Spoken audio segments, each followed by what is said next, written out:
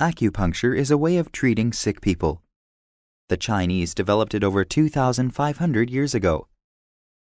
And it is still used today.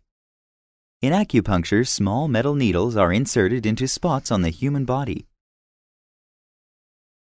There are 787 of these spots. Each one is connected to a special body part or system.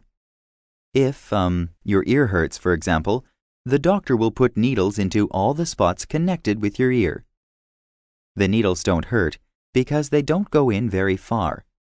Sometimes the doctor runs an electric current through the needles. We don't understand exactly why this helps people.